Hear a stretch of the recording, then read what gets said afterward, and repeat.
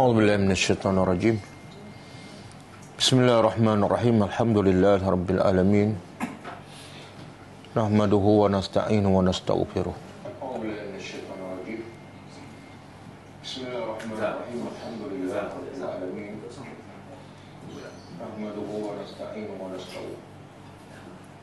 ونعوذ بالله من شرور أنفسنا ومن سيئات أعمالنا. من يهده الله فلا مضل له ومن يضلل فلا هادي له. أشهد أن لا إله إلا الله وحده لا شريك له وأشهد أن محمدا عبده ورسوله. سبحانك لا علم لنا إلا ما علمتنا إنك أنت العليم الحكيم. اللهم علمنا ما ينفعنا وانفعنا بما علمتنا وزدنا علما. اللهم أتي أنفسنا تقواها وزكها أنت خير من زكاها. أنت وليها ومولاها ربي يسر ولا تؤسر ربي تمم بالخير أما بعد InsyaAllah pagi ini kita sambung terdebur surah Al-A'raf ayat 158 Uh, sebelum tu kita tengok pengajaran ayat lepas. Rasanya 157 kan? Satu ayat je. Ha? أعوذ بالله من الشيطان الرجيم. الذين يتبعون الرسول النبي الأمي الذي يجدونه مكتوبا عندهم في التوراة والإنجيل. يأمرهم بالمعروف وينهاهم عن المنكر. ويحل لهم الطيبات ويحرم عليهم الخبائث. ويدع عنهم إصرهم والأغلال التي كانت عليهم. الذين آمنوا به وعزروه ونصروه واتبعوا النور الذي أنزل معه. أولئك هم المفلحون. uh, maksudnya orang-orang yang sentiasa mengikuti Rasul yang juga Nabi yang bersifat ummi. Yang mereka dapatinya kisah Nabi ini tertulis di sisi mereka dalam kitab Taurat dan Injil. Yang sifat Rasul ini sentiasa menjuruh yang ma'ruf dan mencegah mereka daripada kemungkaran dan menghalalkan bagi mereka perkara yang baik dan mengharamkan ke atas mereka perkara yang keji dan mengangkat daripada mereka bebanan bebanan yang membebankan mereka. Maka orang-orang yang beriman dengannya, dengan Rasul dan mengagungkannya serta menolongnya dan mengikut Al-Quran yang telah diturunkan bersamanya, hanya mereka itulah orang-orang yang berjaya. Pengajarannya, pertama,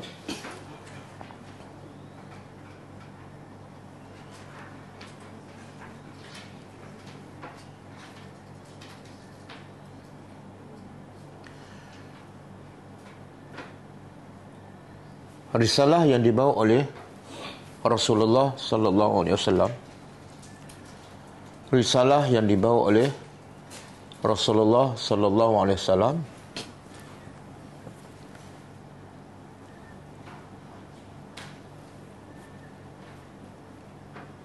Adalah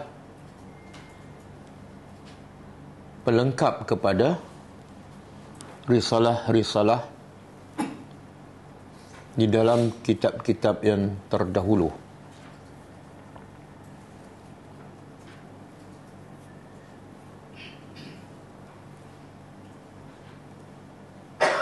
Dan ia adalah risalah terakhir dan penutup bagi umat manusia.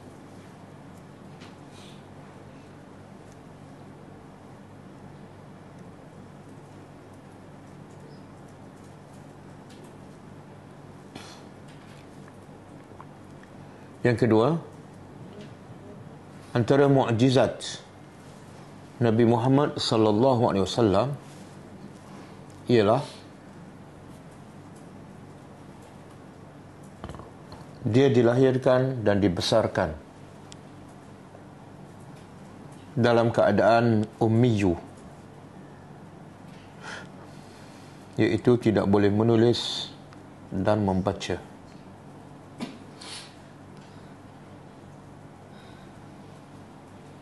sedangkan isi kitab yang dibawanya mengandungi berita-berita daripada umat-umat yang terdahulu dan berita-berita gaib yang akan datang. Termasuklah alam akhirat.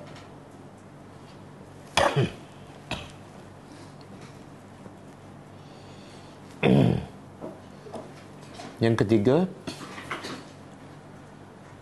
peranan utama setiap rasul ialah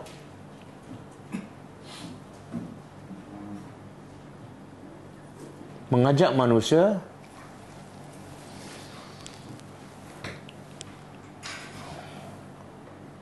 agar mentauhidkan Allah dan sentiasa melakukan yang ma'ruf.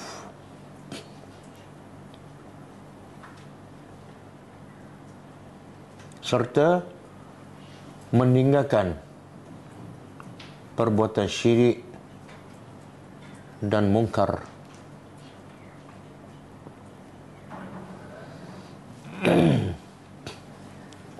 yang keempat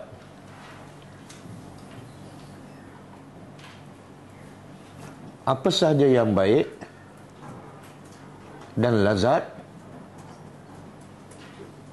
asalnya adalah halal dalam Islam.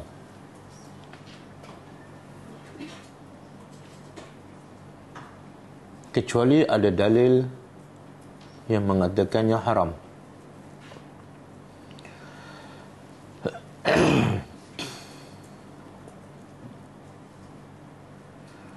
Dan asal sesuatu yang keji dan mudarat adalah haram. Kecuali ada dalil yang mengatakan halal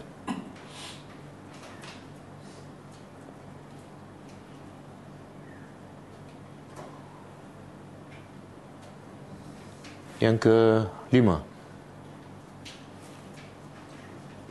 Islam adalah agama yang mudah. Islam adalah agama yang mudah.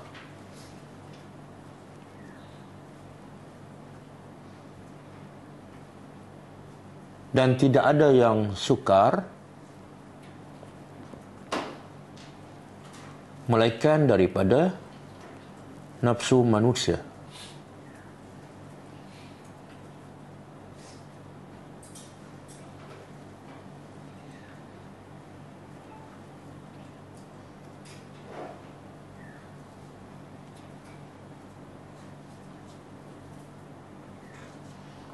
Yang keenam. Sesiapa yang beriman kepada Allah dan Rasul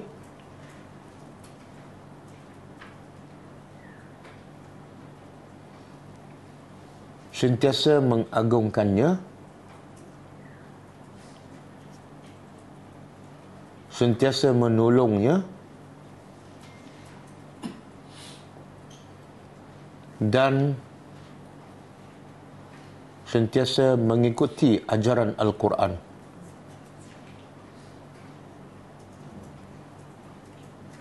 Maka mereka ini sahaja yang akan mendapat kejayaan yang hakiki iaitu surga Allah Subhanahu wa taala.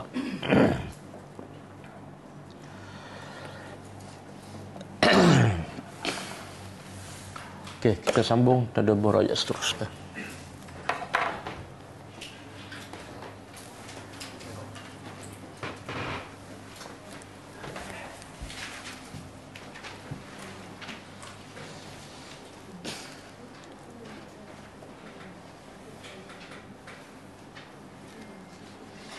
Okay, A'udzubillah minasyaitanirrajim. ayat 158. Dekaitan ayat yang lepas. Kalau ayat yang lepas, Allah menceritakan tentang sifat sifat Nabi Muhammad sallallahu alaihi wasallam. Iaitu buta huruf, selalu mengajak kepada yang makruh, mencegah kemungkaran, menghalal perkara yang baik, mengharamkan benda yang keji, menghilangkan benda-benda yang sukar dalam agama yang membebankan. Dan ayat yang lepas tu Allah cerita tentang Allah bercakap lebih khusus kepada orang Yahudi dan Nasara. Betul? Apa apa dalilnya? Ha, Allah kata semua cerita Muhammad tu ada dalam kitab Taurat dan Injil. Jadi bila ayat yang lepas lebih khusus bercakap tentang Yahudi dan Nasara, maka mungkin timbul salah faham ataupun kesamaran bahawa Nabi Muhammad ini diutuskan hanya untuk Yahudi dan Nasara sahaja. Okey? Maka ayat hari ini Allah nak betulkan yang kemungkinan salah faham bahawa Nabi Muhammad ni sallallahu alaihi wasallam sebenarnya adalah untuk semua bukan untuk Yahudi dan Nasara. Ada satu hadis Nabi bersabda tidak ada seorang pun yang maksud dia tidak ada seorang pun yang mendengar dari aku daripada umatku ini. Baik dia Yahudi baik dia Nasara. Kemudian dia mati. Dalam keadaan dia tidak beriman dengan aku setelah dia mendengarnya maka dia adalah penghuni neraka yang kekal. Faham? Dah dengar daripada aku daripada umatku lah. Tapi Nabi sebut khusus Yahudi dan Nasara dah dengar tapi tak beriman dan mati dalam kufur dia ahli neraka dan kekal apa dosanya tak beriman dengan Nabi Muhammad setelah mendengar, setelah mesej dakwah dah sampai. Kenapa hadis tersebut Nabi sebut Yahudi dan Nasara? Bukan mana khusus pada Yahudi dan Nasara. Nabi nak beritahu, kalau Yahudi dan Nasara yang dah ada kitab tapi tak beriman pun mati masuk neraka. Kalau yang tak ada kitab langsung lagilah. Faham tak? Logiknya kalau dah ada kitab okeylah nak ikut kitab kamu tak apa. Sebab itu juga kitab Allah. Tapi tak. Walaupun kamu dah ada kitab Taurat, ada kitab Injil, tapi akhirnya bila datang Nabi Muhammad, bila datang Quran kena tinggal kitab tu. Kena beriman dengan Nabi Muhammad dan beriman dengan Quran. Kalau tak, kamu akan menjadi ahli neraka. Ya. Kalau tak ada kitab langsung, lagilah wajib ikut Nabi Muhammad SAW. Okey. Auzubillahi minasyaitonirrajim. Qul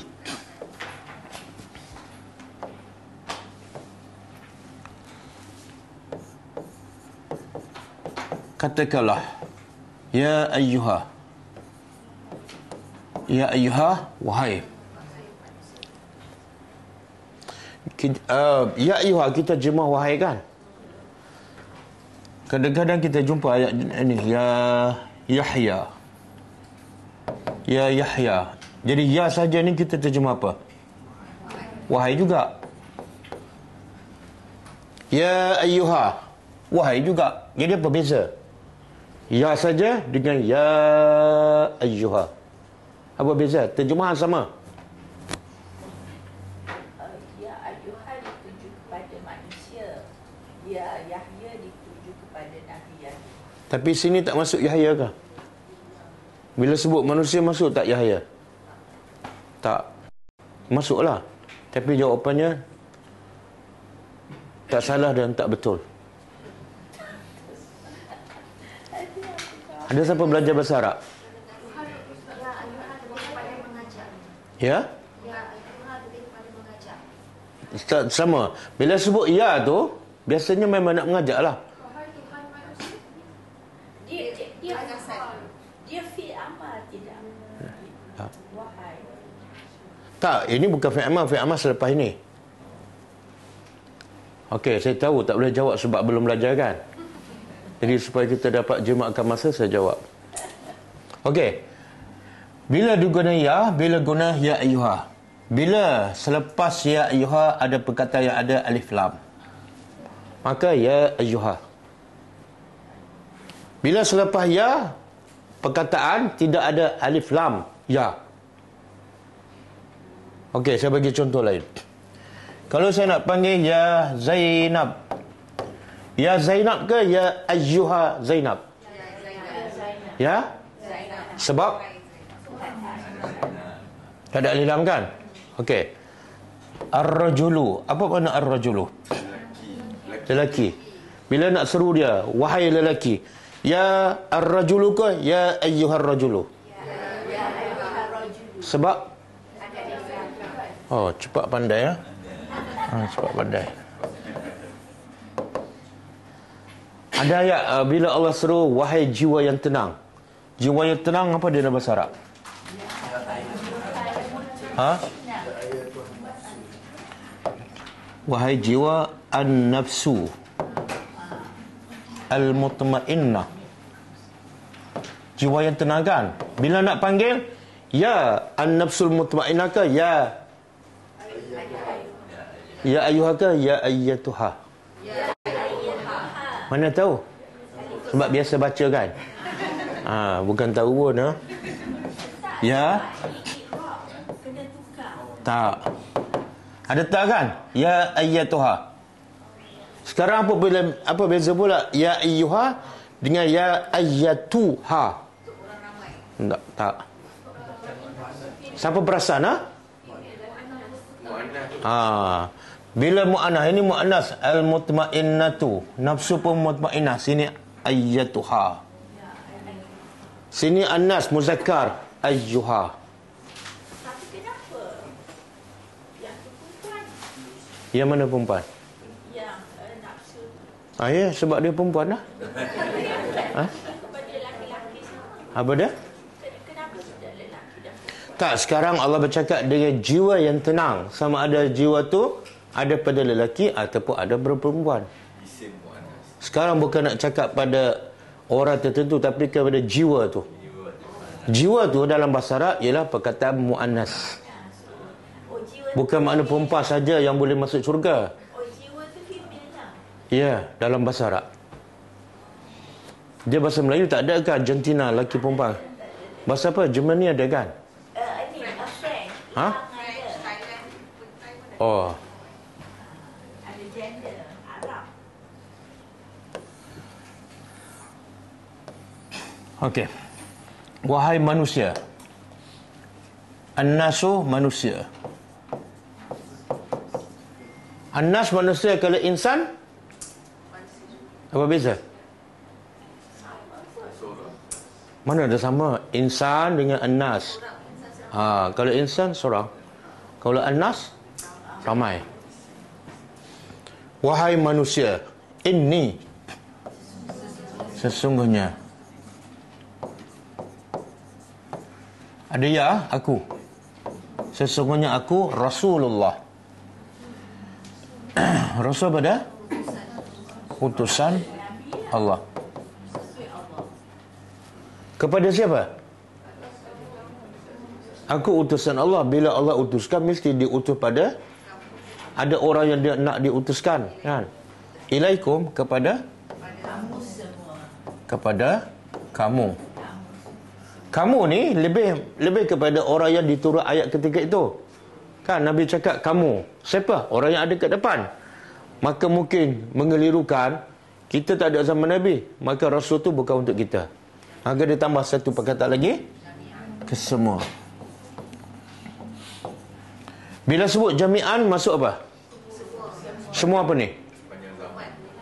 Semua umat manusia termasuklah jin. Termasuklah jin. Jadi jin ada tak di kalangan jin ada tak rasul? Rasul daripada jin. Tak ada. Jadi rasul kepada jin ialah Nabi Muhammad lah. Cuma kalau jin yang menyampaikan dia panggil apa? Ha? Munzir. Munzir. Jadi siapa yang nama Munzir tu cek betul dia manusia ke jin? Ha? Okey. So dia menyampaikan kepada jin-jin lah sesama dia. Ya. Yeah. Okey. Uh, ada tak dalil yang lain? Ini sebenarnya Allah nak bagi apa ni? Bila Allah kata pada Nabi Muhammad, bagi pada umat kamu bahawa aku ni adalah rasul utusan Allah. Satu nak beritahu, tahu aku ni bukan sebarang utusan. Sebab yang mengutus ke anak aku ialah Allah. Yang kedua, nak beritahu kemuliaan Nabi Muhammad. Kemuliaan, kehebatan Nabi Muhammad yang lebih daripada semua para rasul dan nabi lepas. Apa kelebihan itu? Ha? Kalau rasul yang lepas? Untuk kaum dia sahaja. Semua rasul yang lepas dan nabi untuk kaum mereka sahaja. Betul kan? Ada dalil tak Nabi Muhammad ni untuk semua umat manusia? Ha? Banyak. Okey, bagi satu je. Tak payahlah bagi yang saya dah bagi. Ha? Kita cuba buka yang hadis dan ayat Quran tu.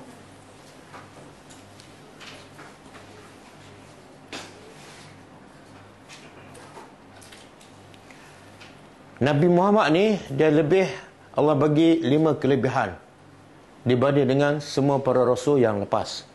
Lima kelebihan ni rasul dulu tak ada. Nabi Musa tak ada, Nabi Ibrahim tak ada. Apa kelebihan tu? Siapa ingat? Siapa tahu? Tak, ada juga Nabi dulu Ummi. Tak tahu, tak pernah dengar. Nabi kata aku beri diberi kelebihan lima yang tak diberi kepada semua para nabi yang lepas. Musuh takut kepada aku sebelum jumpa Nabi. Berapa hari? Tiga hari. Salah. Sebulan. Betul. Okey, kita tengok ayat Quran. Yang ni. Ini surah Sabah ayat 28. Ini surah Sabah.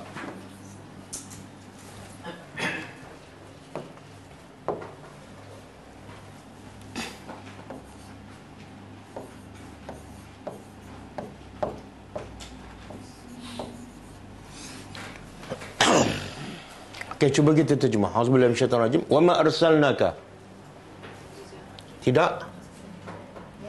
Dan tidak kami utuskan engkau. Illa kecuali kafah. Apa makna kafah? Keseluruhan. Melaikan keseluruhan linnas untuk semua manusia. Bangsa Arab, bangsa Jepun, India. Ah, Cina, dan apa fungsi ataupun peranan Nabi? Basyirah wa nazirah. Dua, dua tugas Nabi. Satu, bagi berita gembira. Yang kedua, apa berita gembira yang Nabi bawa kepada kita? Syurga. Betul. Jadi bila kita dengar berita syurga daripada Quran ke, daripada hadis ke, kita suka tak? Susah nak percaya. Ha? Suka tak? Suka. Dia suka dia macam ni. Uh, suka ni Bushra, Bushra tu daripada kulit. Bushra berita gembira. Dia ambil daripada perkataan kulit basyaratun. Apa kaitan gembira dengan kulit? Kaitannya ialah bila orang tu nampak gembira, di mana nampaknya? Kulit muka. Betul kulit muka lah. Masa suami gembira tengok kat muka ke tengok kat perut dia?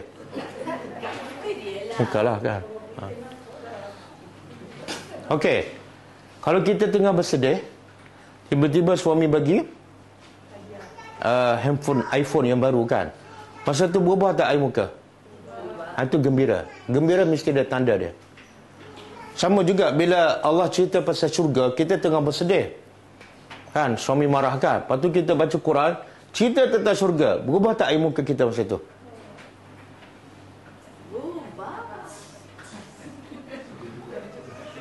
tadi cepat dia berubah kan sekarang slow sikit kan ha. sebab apa kita tak gembira Muka kita tak nampak gembira walaupun baca cerita tentang syurga. Sebab apa? Sebab kita tak faham. Jadi tugas Nabi bagi berita gembira. Termasuklah hadis-hadis Nabi tentang amalan. Kadang-kadang amalan tu kecil je tapi pahalanya besar. Sepatut kita gembira. Solat dua rakaat subuh lebih baik pada dunia itu berita gembira. Wa nazirah dan juga pemberi peringatan tentang apa? Tentang dosa, tentang azab, tentang neraka. Jadi kalau berita gembira bukan untuk semua orang. Hanya untuk orang yang beriman sahaja. Jadi kalau tak gembira tu kita belum betul-betul beriman. Okey? Ini surah Sabah. Kemudian wa uhiya ilayya haza al-Qur'anu li unzirakum bihi wa man balagh. Ini surah apa dah? Cuba cek dulu. Kita terjemah wa uhiya dan telah di wahyukan ilayya kepadaku. Kalau ila kepada, kalau ilayya ya, ya tu aku. Telah diwahyukan kepada aku hazal Quran. Quran ini li unzirakum untuk fungsi utama Quran turun padaku ialah untuk aku memberi peringatan pada kamu. Maknanya Quran kena difahami kalau tak macam mana nak rasa takut, rasa gerun. Untuk aku beri peringatan pada kamu dengan Al-Quran wa man balagh dan siapa saja yang sampai dakwah itu minas saqalaini daripada jin dan manusia. Al-An'am 19 Al-An'am 19 Okey. Ini antara dalil-dalil Yang menunjukkan Nabi Muhammad Diutuskan untuk Semua umat manusia. Okey kita tengok pula hadis ha? Hadis.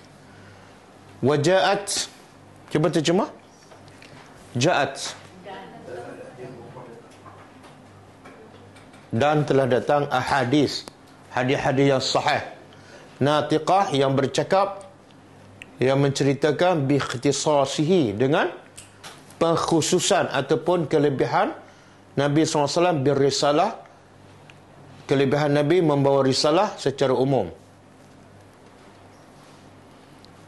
Uh, sebagaimana hadis yang datang dalam hadis sahih Bukhari dan Muslim sahih ini wa ghairihima dan selain pada dua selain pada sahih Bukhari dan Muslim. Antaranya ialah sabda Nabi SAW. Okey, ini hadisnya. U'ti itu. Berterjemah. U'ti itu aku aku telah diberi. Khamsan. Lima. Lam yu'tahunna ahadun. Seorang pun tidak diberi lima-lima itu minal anbiya daripada ha, jadi aku diberi lima yang semua para nabi tak diberi kelebihan khas untuk nabi. Qabli sebelumku. Apa dia? Yang pertama nusirtu birru'bi masirata syahrin. Iaitu aku diberi kemenangan dengan cara Allah me, me, meletakkan rasa takut dalam hati musuh selama perjalanan sebulan mana kalau Nabi nak pergi berperang musuh dah takut dan gerun pada Nabi berapa lama? Sebulan. Katalah Nabi nak pergi berperang 1 November. Bila musuh musuh musuh mula rasa takut? Ha. Dan sebab musuh dah takut, itulah punca kekalahan musuh. Satu ha? kelebihan. Kelebihan ini tak ada pada Nabi yang lain. Yang kedua, li al-ardu dan dijadikan untuk aku bumi masjidan. Sebagai masjid wa tahura sebagai masjid ni maknanya tempat solat. Diberi kelebihan pada aku semua bumi ni suci dan boleh dijadikan tempat solat. Para nabi dahulu boleh tak? Uh, beribadat pada Allah di mana-mana Habis kalau umat Nabi Musa nak solat di mana? Nak sembah Allah. Ha, di tempat ibadat khas. Nah ini juga kelebihan uh, kita sebagai umat Nabi Muhammad iaitu kita boleh sembah Allah di mana-mana saja. Pergi tengah hutan ke, pada pasir ke, masuk waktu berhenti ambil wuduk dulu. Ambil wuduk kalau tak ada air, tayamum. Kalau tak kalau tak ada tak, uh, tayamum, tak ada debu. Ada kan? Mesti ada. Tayamum lepas tu solat, jalan. Sebab tu kalau kita tengok pergi Mekah kan kadang-kadang orang yang musafir naik bas daripada Mekah ke Madinah. Kadang-kadang masuk waktu dia berhenti tepi jalan. RNR tak ada. Kalau tak ada air dia tayamu dia solat tepi jalan je. Kita tengok dia pelik kan. Lepas tu dia tengok kita pula tak berhenti, lagi dia pelik. Ha. Sebab kita jenis apa? Bila kita akan solat? Bila masuk waktu ke bila jumpa masjid? Mana yang lebih menepati? masuk waktu. Nabi kata bila masuk waktu berhenti ambil uduk. Kalau tak ada tayammum solat. Okey. Tapi kalau di jamak Hmm? di jamak tak Ah jamak cerita lain lah. Fa ayyuma mana maka mana mana-mana seseorang itu min ummati daripada umatku adrakathu salah. Masuk waktu salat falyusalli. Salat ada di mana-mana. Berapa dah? Ha? Tiga kan? Ah dua, dua. Dua. Yang ketiga wa uhillat li al-ghanaim. Dihalalkan untukku ghanaim. Harta rampasan dan walam tuhallu li ahadin qabli.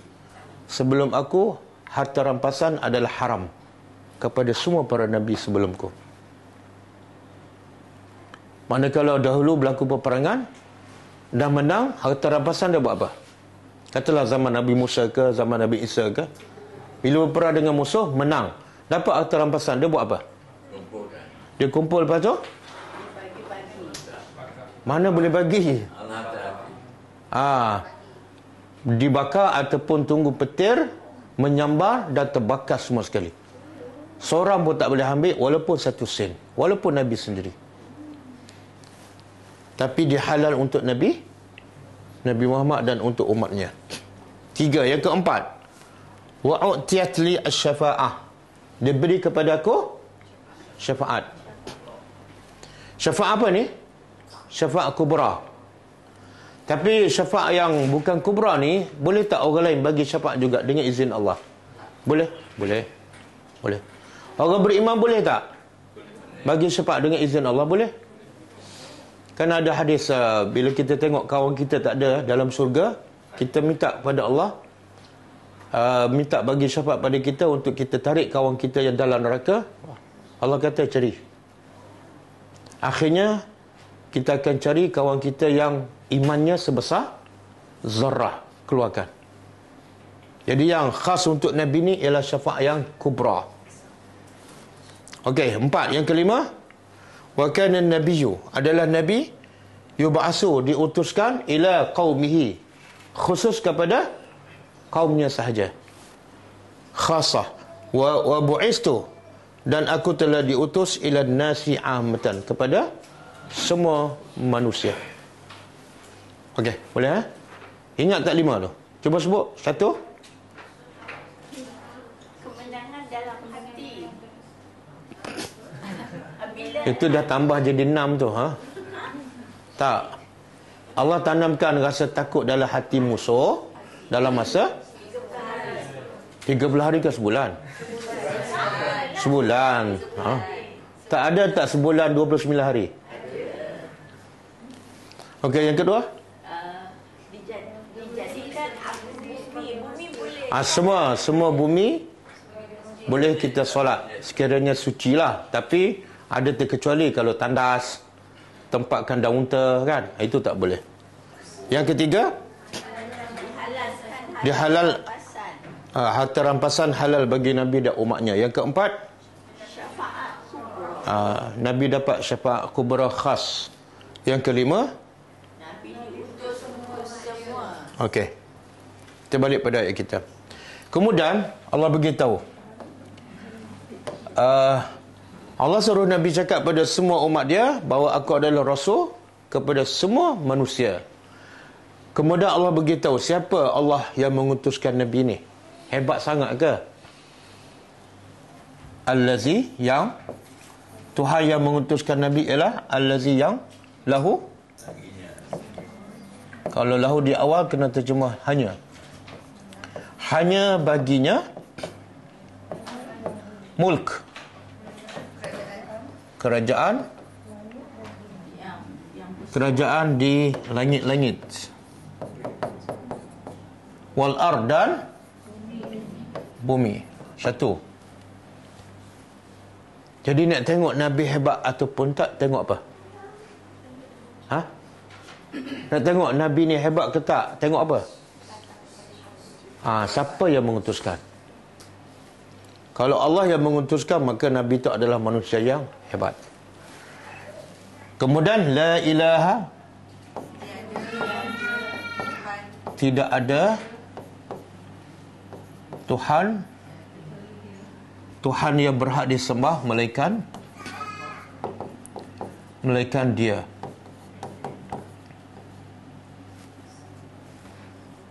Okey, apa beza ni? Yang ni lahu mulku samawati wal ar. Yang ni la ilaha illahu. Apa beza dia? Ah.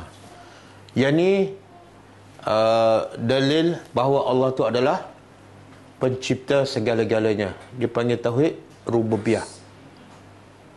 Maka sebab Allah tu pencipta segala-galanya, maka dia saja yang berhak disembah. Yang disembah selain daripada Allah boleh tak? Memiliki tak langit dan bumi? Tak. Jadi Allah nak begitu, Tuhan yang berhak disembah hanyalah Tuhan yang lahu mulkus samawa wal ard. Dua, yang ketiga, yuhyi. Dia dia juga yuhyi sentiasa menghidup. Menghidupkan apa ni? Allah tak sebut menghidupkan apa? Umum. Bila tak sebut menghidupkan apa mana? Merakumi semua sekali. Menghidupkan yang mati. Menghidupkan manusia yang mati. Menghidupkan tumbuhan yang mati. Menghidupkan haiwan yang mati. Wayumit dan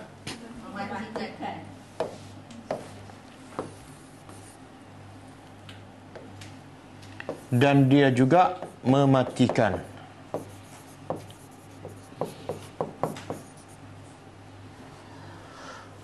Okey. Apa kaitan yuhyi wa yumit dengan uh, cerita Yahudi dan Nasara? Di antara alasan Yahudi dan Nasara menolak Nabi Muhammad sebab apa? Sebab dia bukan orang uh, sebab Sebab dia bukan Jadi apa uh, kaitan dengan Allah kata dia pemilik langit dan bumi, dia boleh menghidupkan dan mematikan. Apa kaitannya? Tak kaitannya ialah ha? Kehebatan Allah dia boleh mencipta tujuh lapis langit bumi, ha? tujuh lapis langit dan bumi. Dia boleh menghidup dan mematikan. Semua tak boleh buat. Jadi ikut suka dia lah nak pilih siapa. Faham tak? Yang kedua, Yahudi dan Nasara juga mendakwa dia akan beriman dengan kitabnya sahaja. Kan? Quran dia tak nak. Maka kaitannya Allah menghidupkan dan Allah mematikan. Maka setakat menghidupkan manusia, mematikan manusia. Tapi Allah juga boleh menghidupkan satu syarat yang lain dan mematikan syarat yang lain. Sebab dia maha berkuasa. Bila Allah keluar turunkan Al-Quran, Allah matikan syariat kitab Taurat dan Injil. Jadi dia maha berkuasa. Jadi kamu sebagai makhluk yang lemah hanya sami'na wa ata'na. Fa'aminu Maka setelah ditegaskan ketuhanan keesaan Allah maka datang perintah Allah fa'aminu maka berimalah oleh kamu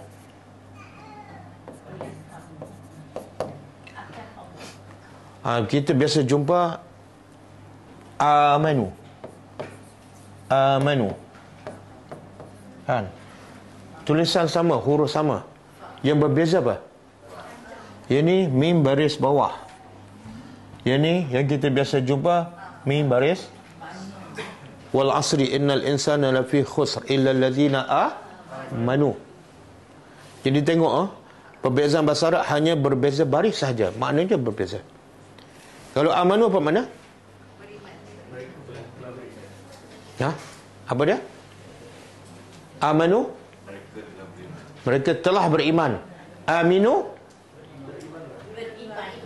Berimanlah oleh kamu.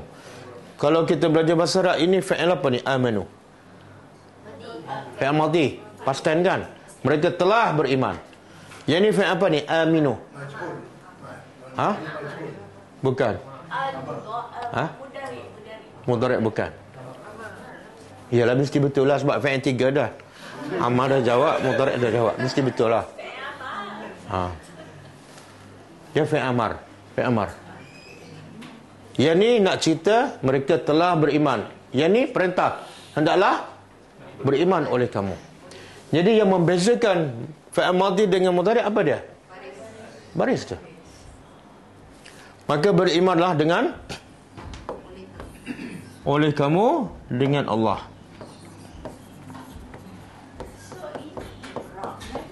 Hmm? Ah, dia panggil nahu lah. Nahu. Tak, dia Arab dia lebih kepada huruf akhir ni. Kenapa beri depan huruf akhir setiap perkataan itu Arab. Tapi kalau binaan satu kalimah dia panggil nahu wasarf, as-sarf. Okey, berimanlah oleh kamu dengan Allah dan Rasulnya.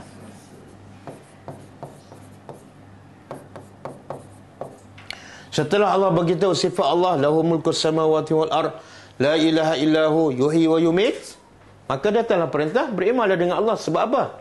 Sebab dia hebat. Kenapa nak beriman dengan benda yang kamu sendiri cipta? Kemudian kena beriman pula kepada Rasul. Tak cukup beriman dengan Allah, kena beriman dengan Rasul. Sebab apa? Sebab Rasul Rasulullah dia utusan Allah yang hebat. Kemudian Allah sebut lagi sifat Rasul ni juga dia adalah Nabi.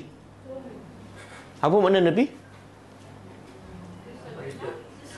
Ah daripada Nabak. Nabak ni berita kan? Surah An-Nabak.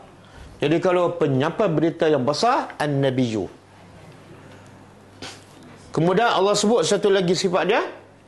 Ummiyu. Al-Ummiyu, Allah dah sebut dalam ayat lepas. Kenapa diulang? Ialah kenapa penekanan Penekanan diulang sama tu Yang Ummiyu Kenapa disebut sekali lagi Sifat Ummiyu Hmm?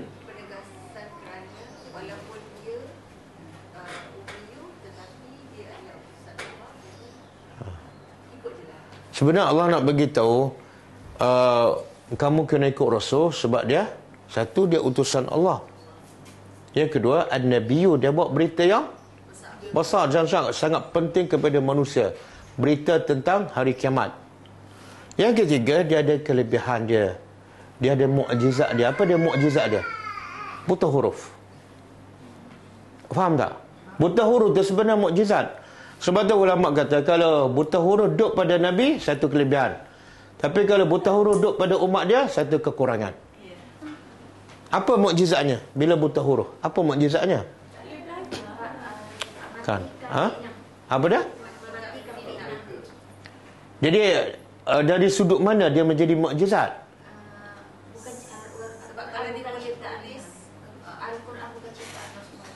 Jadi nak beritahu mukjizat Nabi ialah walaupun dia buta huruf tapi dia boleh buat cerita cerita-cerita yang besar, cerita umat dahulu, cerita Nabi Adam, cerita alam akhirat, cerita benda gaib, cerita roh makan kalah. Itu kehebatan Nabi Muhammad. Walaupun dia buta huruf, maka pasti di belakangnya adalah Tuhan yang hebat. Okey.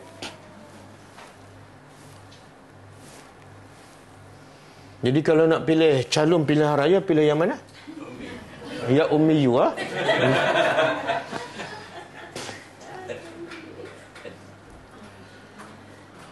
Kemudian yu'minu billah. Dia sentiasa beriman kepada Allah. Siapa ni? Dia sentiasa beriman pada Allah. Siapa ni? Nabi subhanallah. Allah beritahu, walaupun dia rasul, manusia hebat, tapi dia sama dengan kamu. Dia juga wajib beriman dengan Allah. Dia tak boleh nak me mereka-reka syariat. Bahkan Allah tegur tak bila Nabi menghalalkan benda yang haram ataupun mengharamkan benda yang Allah tegur kan? Mana hak menghalal dan mengharam hak Tuhan. Walaupun dia Nabi, dia tak ada hak. Okey, dan Nabi juga beriman dengan Allah wa kalimatihi dan kalimah-kalimahnya. Apa makna kalimah-kalimahnya? Tak lain juga. Ha? Ayat dan kitab lain. Ayat dan Kitab-kitab lain. dan kalimah Allah ni lebih umum daripada kitab-kitab Allah. Uh, Allah sebut dalam satu ayat. Saya sebut terjemahan. Kemudian belajar bagi ayat apa surah apa. Okey? Kalimah. Allah kata kalaulah laut itu menjadi dakwat untuk menulis kalimah-kalimah Allah. Maka air laut semua kering, kalimah Allah masih banyak lagi. Kemudian ditambah lagi air laut sebagai dakwat untuk menulis kalimah Allah. Kering, tambah lagi, kering, tambah lagi. Tapi kalimah Allah tak akan berakhir. Surah apa? Surah? Ayat? Nasib baik ayat tu duduk dalam surah kahfi. Ha, kalau tak, tak boleh jawab. Ada satu lagi ayat. Yang Allah kata, ada penambahan. Kalau semua batang-batang pokok di seluruh dunia ni dipotong untuk dijadikan pena, pen, untuk menulis kalimah Allah, oh dah ada kat sini. Bila saya tengah uh, bertanya, jangan bocorkan jawapan. Ha.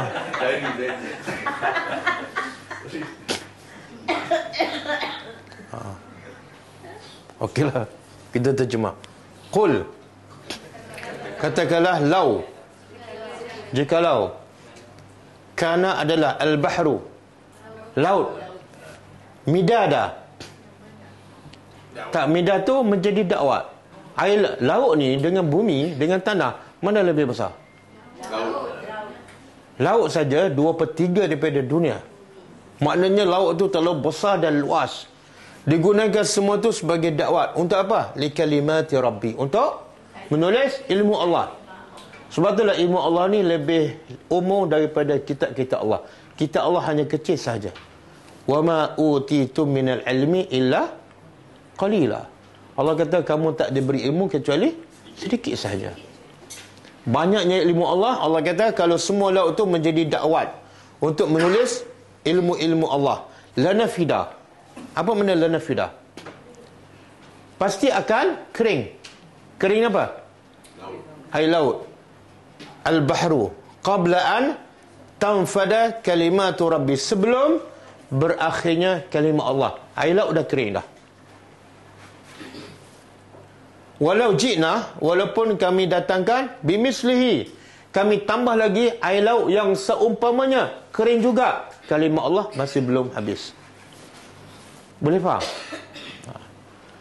Kita kalau nak tulis ilmu yang kita ada lah, yang kita belajar daripada tadika sampai hari ini, perlukan berapa botol dakwat?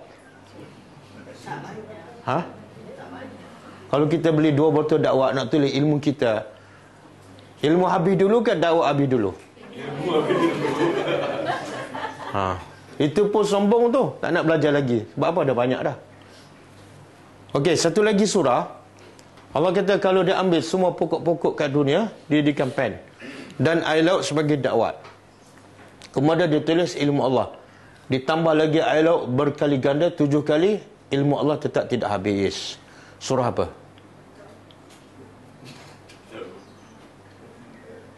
Ha? Surah Luqman. Surah Luqman. Cuba buka. Ayat berapa? 20? Ah, surah Luqman ayat 27.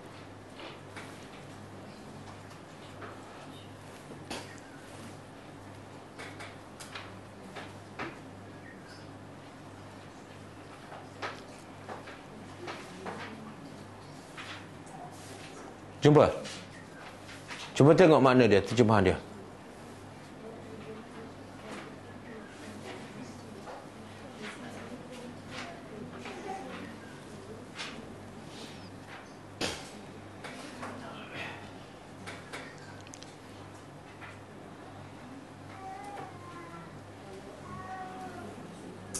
Jadi ini menunjukkan apa? Ilmu Allah sangat luas. Dan ilmu yang kita miliki hanyalah seumpama apa? Ha, macam yang tak dia Nabi Musa AS satu masa bila Bani Israel bertanya siapa yang paling alim Nabi Musa jawab akulah sebab apa? sebab dia Nabi kan Nabi pastilah paling berilmu maka jawapan dia itu menyebabkan Allah tegur dia Allah kata apa? Ada orang yang lebih alim daripada kamu. Walaupun kedudukannya lebih rendah daripada kamu. Siapa? kita kan? Dan apa yang Allah perintah pada Musa? Pergi? Pergi belajar. Walaupun dia seorang Nabi masih kena merendah diri pergi belajar. Belajar pula dengan orang yang bawah pada dia khidir bawah pada dia. Jadi pengajaran untuk kita apa dia? Jangan berhenti belajar lah ha? Cik cuti je ha? Dah lah. Belajar dah Sampai tahap dah itu kan. Lepas tu cuti pula. Sebab apa nak berehat? Sedangkan ilmu yang kita ada pun Yang kita dah belajar pun Kadang-kadang lupa. Yang tak belajar lagi banyak. Okey cuba tengok. Walau. Walau dan jikalau An-nama. Sesungguhnya fil ardi. Terjemah fil ardi? Di bumi. Min syajaratin. Dari syajarah pokok. Pokok-pokok aklam. Aklam ni jamak plural. Kalau satu kalam kalam pen. Aklam jamak. Kalau di bumi daripada pokok-pokok dijadikan pen-pen. Wal bahru dan laut pula yamudduhu. Ha? Ha, dijadikan dakwah mimba dihi selepas itu sab'atu abhur tujuh kali laut. Kering sekali tambah lagi. Kering sekali tambah lagi. Sampai tujuh kali. Ma nafidat kalimatullah. Kalimat Allah tidak akan berakhir. Inna Allah azizul hakim. Inna Allah azizul hakim. Sesungguhnya Allah maha ha, lagi maha bijaksana. Okey. Kita balik pada ayat kita.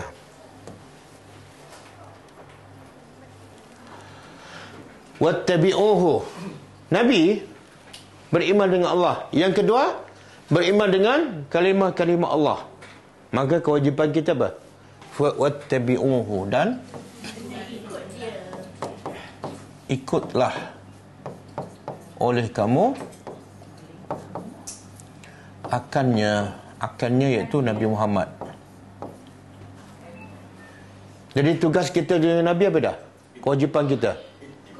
Ittiba ikut. Bukan baca sirah dia tapi tak ikut. Bukan sambut tapi tak ikut.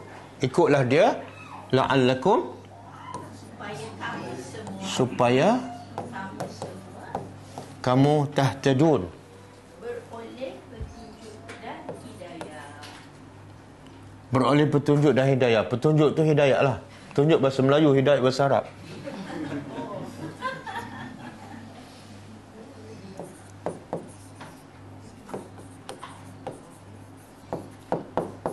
Okey. Apa pengajaran daripada ayat ni?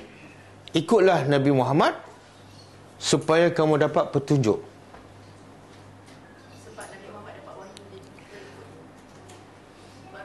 Tak, pengajarannya di hujung ni. Semua manusia minta hidayat. Maka Allah bagi kaedah, formula untuk dapat hidayat. Apa dah? Ikut Nabi. Mana selagi kamu tak ikut Nabi, mustahil kamu dapat hidayat. Dan ikut pula mesti ikut semua sekali. Jangan ikut separuh. Ambil separuh tinggal separuh. Tak ambil semua sekali barulah dengan dengan cara itu kamu akan dapat hidayah uh, cuba buka surah ni. Surah Ali Imran. 31 dan 32 ayat ni biasa kita baca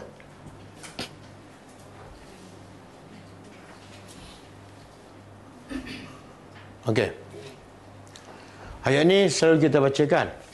Cuma mungkin kita baca tak lengkap lah. Okey, malam ni kita terjemah. Malam ni pula siang hari ya. Okey, kul. Katakanlah in. Jika. Ataupun sekiranya. Kuntum. Adalah kamu. Tuhibbuna. Ah. Allah perintah Nabi supaya kita begitu pada umat dia. Apa dia? Sekiranya kamu semua cinta Allah. Maka fattabi'uni. Ikutlah aku. Makna apa tu? Allah nak bagi tu syarat cinta Allah mesti ikut. Hanya ikut Nabi barulah dapat. Okey, apa hasil dia? Kalau ikut Nabi apa hasilnya? Yuhibbukumullah. Satu, satu yuhibbukumullah. Apa ni? Satu ni. Allah cinta kamu. Tengok bahasa Al-Quran. Sepatut ayat macam ni ya. Kalau kamu cinta Allah, kalau kamu cinta Allah, ikut Nabi. Maka hasilnya kamu cinta Allah lah. Saya ulang. Ayat dia sepatutnya macam ni.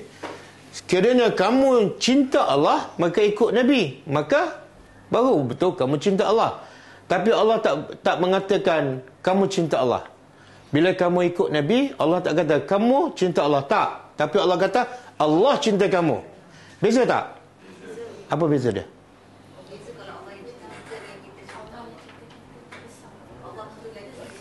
Kalau kamu ikut Nabi, kamu cinta Allah tapi Allah belum tentu cinta pada kamu mungkin kamu shock sendiri. Faham tak? Jadi Allah nak beritahu nilai ikut Nabi Allah sendiri bagi tahu aku cinta kamu. Jadi amat tak cerdik orang yang tak ikut Nabi. Sebab apa? Dia akan terlepas cinta Allah. Satu. Yang kedua wa yaghfir lakum dan Allah ampun. Ampun dosa kamu.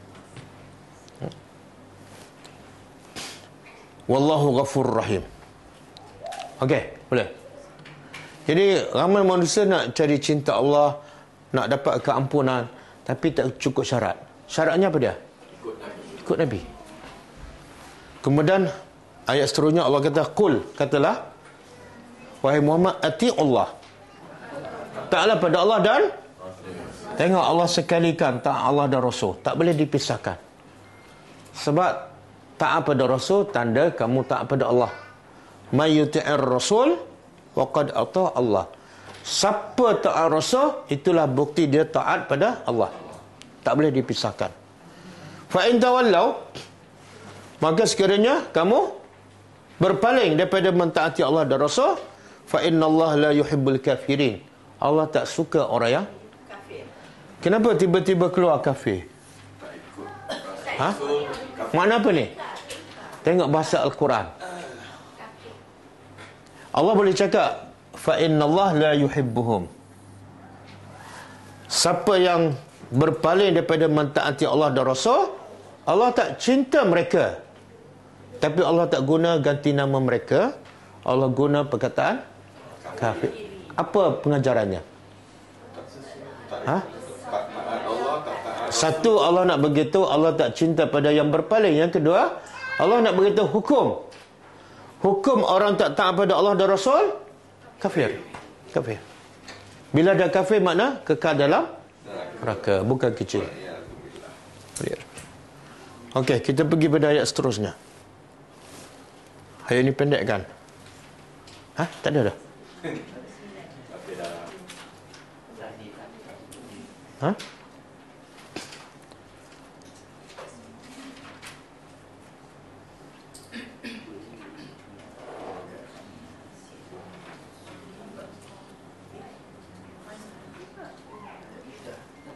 Tak tak ayat ayat surah Al-A'raf.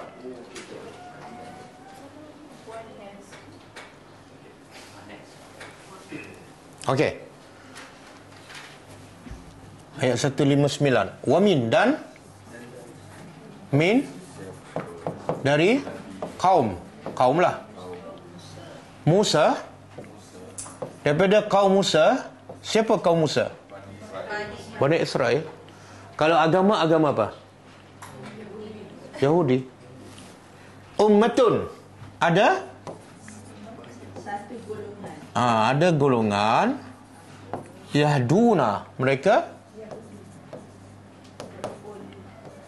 Mendapat hidayat. Mendapat petunjuk. Bil haq dengan? Dengan hak. Wa bihi ya'dilun dan dengannya dengan apa ni dengan hak. ha, dengan kebenaran itulah ya'dilu mereka Mendapat kebenaran. Tak, mereka berlaku adil. Ataupun mereka berhukum.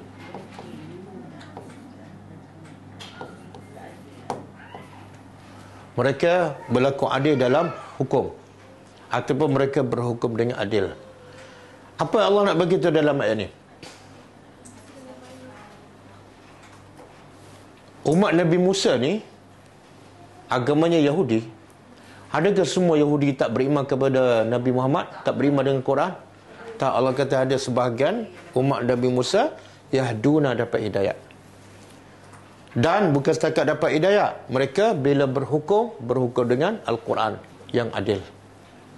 Jadi pengajarannya, Allah nak mengajar kita bila berhukum jangan pukul rata. Pokok-pokok Yahudi semua tak boleh pakai. Salah. Bila kita tak suka pada satu kumpulan, kita kata puak-puak tu semua tak boleh pakai. Salah. Kadang-kadang yang tak boleh pakai lima orang je. Yang boleh pakai lagi, yang lain tu boleh. Jadi kita kata ada sebahagian daripada mereka. Cuba buka surah Ali Imran. Laisu sawa. Uh, ayat 113 dan 114. Tengok ah, Allah mengajar kita berlaku adil bila berhukum. Kalau Yahudi bila dia beriman kita puji. Okey, laisu. Laisu apa dia? Bukanlah mereka itu sawak. Ahli kitab tu tak sama. Jangan pukul rata. Yang baik kita kata baik, yang jahat kita kata jahat. Min ahli kitab ada sebahagian daripada ahli kitab ummatun. Umat. Qaimatun yang berdiri menegakkan kebenaran dan tengok Allah puji sifat utama Yahudi yang masuk Islam. Apa sifat utama mereka? Yatluna ayatillah. Mereka? Ah yatluna fi'il mudhari terjemahnya sentiasa membaca ayat Allah dan waktu mereka baca bila? Ana al-lail. Ahli kitab Yahudi. Bila dia beriman sifat utamanya sentiasa baca al-Quran di waktu malam. Kenapa waktu malam?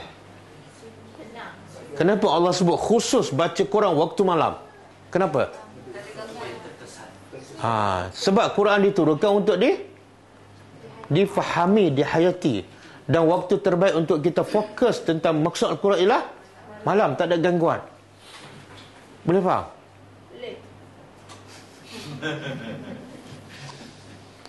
Okey, ada tak ayat Al-Quran yang lain yang Allah suruh Nabi juga bangun malam dan baca Quran di waktu malam juga? Uh, ayatnya? Baca ayat tu.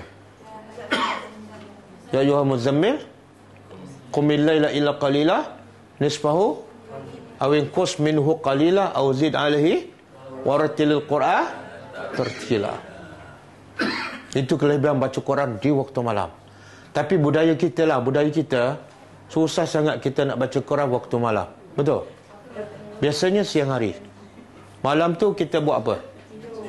Tidur. Kalau baca, kalau bangun salat malam pun, kita tak baca surah panjang-panjang. Surah yang? Yalah, sebab itu je yang kita hafal kan. Surah pendek.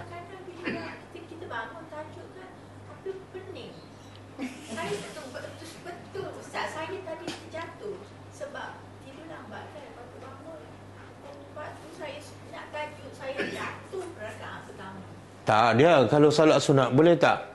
Kalau tak boleh berdiri solat duduk. Kalau tak boleh duduk baring. Kalau dah baring pening lagi ke?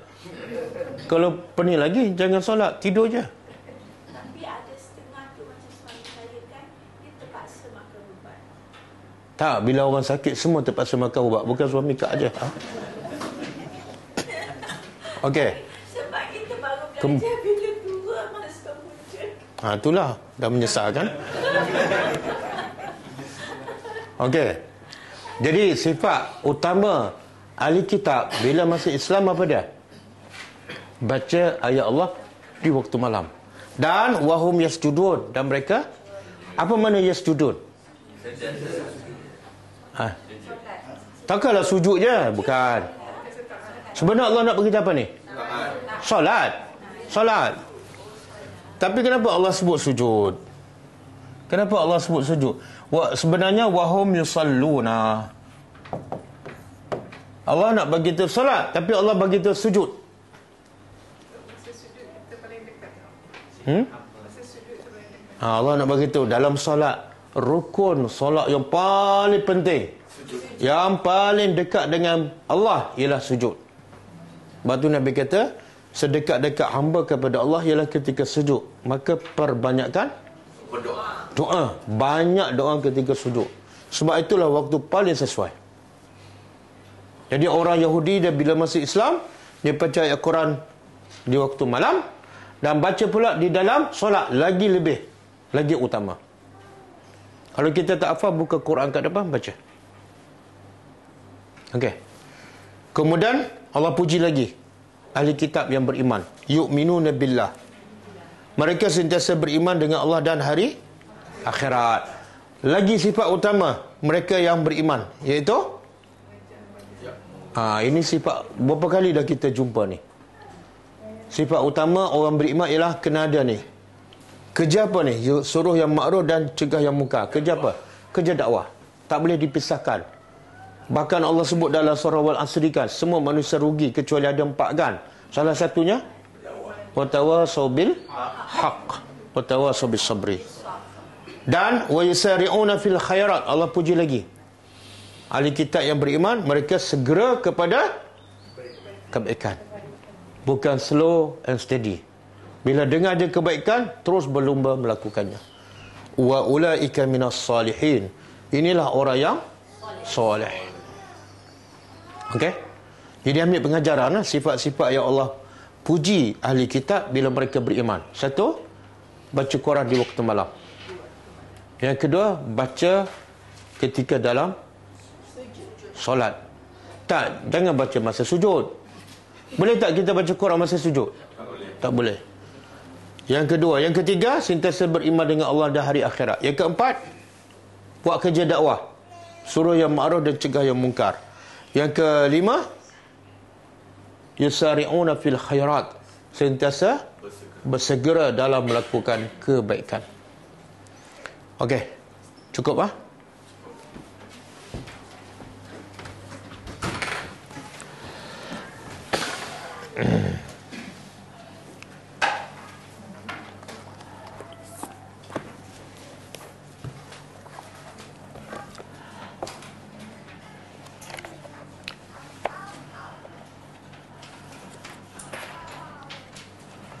Buku ni bukan surat berapa? Kita baca sikit buku Syarah Bulughul Maram. Kitab Salah. Ha? 145. Okey. Hukum melakukan solat mengikut sunnah Rasulullah SAW. Apa hukum? Solat ikut cara solat Nabi. Apa hukum? Sunat ke wajib? Nanti dulu kita baca dulu. Rasulullah SAW diutuskan untuk dijadikan teladan dalam semua hal berkaitan dengan agama. Lebih-lebih lagi dalam persoalan ibadat. Justru antara syarat penerimaan sesuatu amalan di sisi Allah Subhanahu Wa Taala selain daripada ikhlas adalah setiap amalan adalah mencontohi sunnah Rasulullah sallallahu alaihi wasallam. Syarat amalan diterima selain daripada ikhlas ikut sunnah Nabi sallallahu alaihi wasallam. Hal ini bermakna sekiranya sesuatu amalan dilakukan dengan penuh ikhlas kerana Allah Subhanahu Wa Taala tetapi tidak menepati sunnah Rasulullah SAW maka amalan tersebut tertolak walaupun dia beribadat 50 60 tahun tapi tak sama dengan sunnah Nabi amalan dia tertolak ada ada dalil ha, dalam sebuah hadis Nabi SAW bersabda man amila amalan laisa alaihi amruna fahuwa raddun Maksudnya, sesiapa yang melakukan sesuatu amalan yang bukan daripada kami, maka amalan itu akan tertolak. Contoh macam, benda simple aja. Masa rokok kan? Perasan tak orang yang rokok dalam solat, dalam masjid? Semua ber, uh, macam-macam cara. Ada yang rokok macam tu. Ada yang rokok menjunam kan? Tapi cara Nabi rokok macam mana? Straight. Straight uh, pungguk ni dengan kepala lurus je sehingga kan kalau gelas tu penuh dengan air tak di belakang Nabi air tak akan tumpah sebab belakang Nabi lurus bahkan kata Imam Syafi'i siapa yang solat ketika rokok belakangnya tak lurus solatnya boleh batal ha, sebab itulah pentingnya solat ikut cara Nabi kalau kita tengok orang rokok dalam dalam masjid ni berbagai-bagai cara benda benda nampak simple tapi boleh menyebabkan solat tak diterima oleh Allah Subhanahu Wa Taala. Kecuali yang sakit belakang tak boleh buat apalah. Selagi boleh lurus kena luruskan. Okey, mencontohi ibadat Rasulullah SAW tidak mungkin dapat dilaksanakan melainkan setelah seorang Muslim mengetahui cara ibadat baginda Sallallahu Alaihi Wasallam. Justru, langkah pertama yang harus dilakukan adalah mempelajari cara Rasulullah SAW melaksanakan ibadatnya terutama salat yang merupakan paksi kepada segala ibadat. Salat yang paling utama. Kalau diterima salat, yang lain semua diterima. Kalau ditolak salat, yang lain semua tak dikira. Terdapat banyak hadis yang sahih mengenai sifat salat Nabi Muhammad SAW. Antaranya, kita ambil satu hadis. An Abi Hurairah radhiyallahu taala anhu anna Nabi SAW qala idza qumta ila salati fa asbighil wudu Summa istakbilil qiblah Fa kabbir Summa qra' ma tayassara ma'aka minal quran thumma rka' hatta tatma'inna raki'ah thumma rfa' hatta ta'tadila qa'imah summa sujud hatta tatma'inna sajida. Summa hatta tatma'inna jalisa. Summa sujud hatta tatma'inna sajida. Summa fa'al zalika fi salatika kulliha. Hadis sahari wa bukhari dan muslim. Maksud dia daripada Abu Hurairah radhiyallahu radhiyallahu anhu bahawa Nabi Muhammad sallallahu alaihi wasallam bersabda jika kamu ingin melaksanakan solat maka sempurnakanlah wuduk Nabi pesan, sebelum nak solat, wuduk kena sempurna. Salah satu cara wuduk sempurna apa dia? Apa maksud? Nabi tak kata berwuduk, Nabi kata sempurnakan wuduk. Dua benda yang berbeza. Ramai yang berwuduk tapi tak sempurna. Salah satu wuduk yang sempurna ialah cara wuduk mesti ikut Nabi. Selagi tak sama dengan Nabi, wuduk tak akan sempurna. Cara sapu kepala, sapu muka. Termasuklah Nabi kata dalam satu hari kita akan belajar nanti. Nabi tunjuk cara wuduk dan tiga kali tiga kali. Kemudian Nabi kata siapa yang berwuduk lebih daripada ini, dia adalah orang yang zalim, orang yang jahat, orang yang melampau. Hanya berwuduk lebih daripada tiga kali. Termasuk juga wuduk yang sempurna ialah jangan membazir. Jangan membazir. Kalau dah membazir guna air yang banyak, wuduknya tak akan sempurna. Macam mana sempurna? Dia telah buat kerja syaitan. Yang membazir itu adalah saudara syaitan. Sebelum solat dah dah berkawan dengan syaitan. Macam mana solatnya nak khusyuk? Okey, kita akan belajar semua tu. Jadi Nabi kata, bila kamu nak salat, satu, sempurnakan wuduk. Yang kedua, menghadap ke arah kiblat. Yang ketiga, bertakbirlah. Kemudian bacalah ayat Quran yang mudah bagi kamu. Yang mudah mana yang kamu hafal lah. Seterusnya rukuklah sehingga kamu tamak ninah. Tenang. Rukuk jangan rukuk terus bangun. Ha, batal solat. Kena ada tamak ninah. Kemudian bangkitlah hingga kamu berdiri tegak. Dia panggil apa? Iktidal. Iktidal pun wajib ada tamak ninah. Jangan bangun terus sujud. Lalu sujudlah. Kemudian bangkitlah hingga berdiri tegak. Lalu sujudlah sehingga engkau tamak ninah. Sujud pun wajib. Jangan sujud terus bangun. Lalu sujudlah sehingga engkau tamak ninah dalam sujud. Kemudian bangkitlah sehingga kamu tamak ninah dalam dalam duduk. Lalu sujud lagi sehingga tamak ninah dalam sujud. Kemudian lakukanlah semua itu dalam solat atau rakaat yang berikut. Okey? Nanti kita akan belajar dengan detail insya-Allah. Insya-Allah. Okey. Cukup ada soalan? Malam ni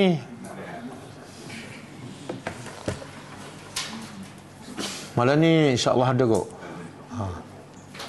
Kalau kalau tidak ada notis pembatalan kelas adalah. Okey, tak ada soalan? Kalau tak ada kita tutup dengan membaca tasbih kafarah. Subhanakallahumma wa bihamdika Asyhadu an la ilaha illa anta astaghfiruka wa atubu ilaik. Assalamualaikum warahmatullahi wabarakatuh. كتاب الله ترق جنانه وتنل